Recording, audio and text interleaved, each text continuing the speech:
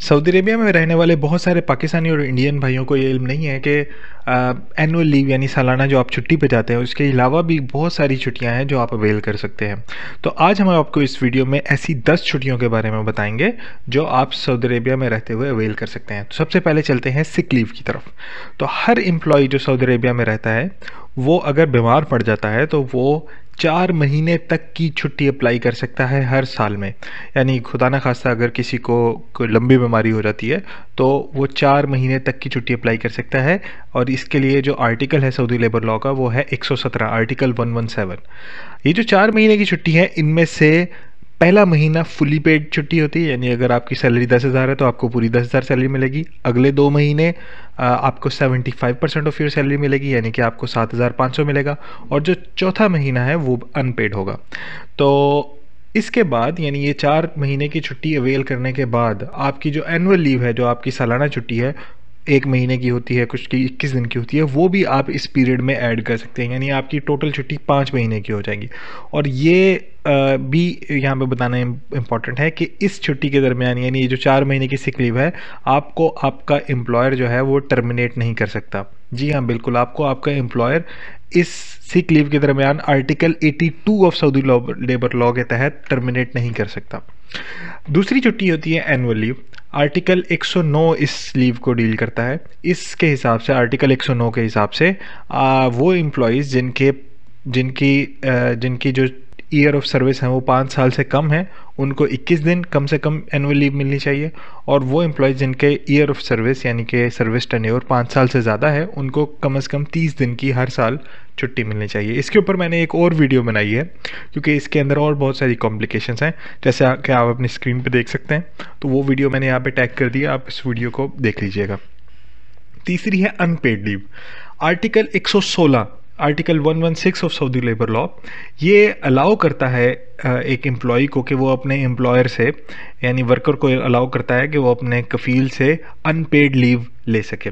अब ये unpaid leave कितने अरसे के लिए ले सकता है? ये डिपेंड करता है कि आपका कितने महीने का एग्रीमेंट हुआ है एम्प्लॉय से। ये दो दिन भी हो सकते हैं और छः महीने भी हो सकते हैं या इससे भी ज़्यादा हो सकता है।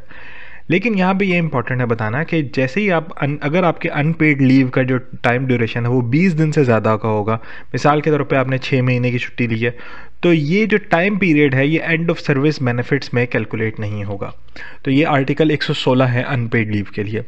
अगली लीव है अगर खुदा ना खास्ता आपके किसी वाइफ की, बच्चों की या पेरेंट्स में से किसी की डेथ हो जाती है पाकिस्तान में या फिर सऊदी अरेबिया में या किसी भी और कंट्री में तो हर एम्प्लॉई को आर्टिकल 113 के तहत पाँच दिन की छुट्टी मिलती है।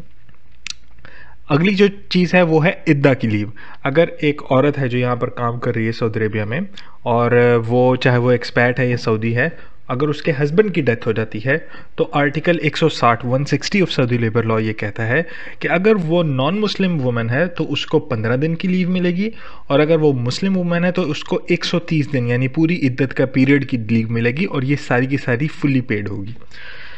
अगली चीज़ है हज की दिन, हज की छुट्टियाँ, हज लीव्स तो आर्टिकल 114 सऊदी लेबर लॉ का यहाँ अप्लाई होता है। वो ये कहता है कि हज के दौरान एक एम्प्लॉय को कम अज़ कम 10 दिन और ज़्यादा से ज़्यादा 15 दिन की छुट्टी मिलेगी। लेकिन जब आप ये छुट्टियाँ ले रहे हैं तो आपको जो ईद की चार छुट्टियाँ हैं, वो भी इसी के अंदर शामिल हैं। यानी कि आपको सिर्फ़ दस छुट्टियाँ ही मिलेंगी। तो अच्छा इसके लिए इंपॉर्टेंट चीज़ क्या है कि हज लीव आप आप ज़िंदगी में सिर्फ़ एक दफ़ा ले सकते हैं अपने एम्प्लॉयर से।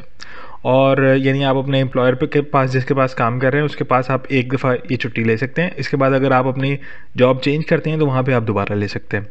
तो लेकिन, और दूसरी चीज़ ये है कि उसने कम अज़ कम दो साल उस एम्प्लॉयर के साथ काम कर लिया हो, यानी वर्कर ने फिर ही वो हज की छुट्टियाँ अप्लाई कर सकता है।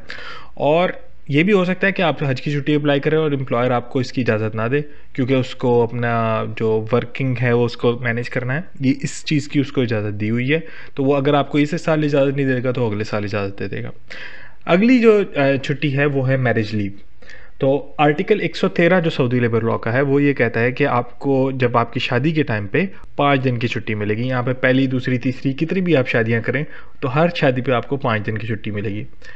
चाइल्ड बर्थ की लीव तो article 113 one second article 113 Saudi labour law कहता है कि आपका जब चाइल्ड की बर्थ होगी तो फादर को तीन महीने की छुट्टी मिलेगी सॉरी तीन दिन की छुट्टी मिलेगी और मदर को मेटर्निटी लीव मिलेगी।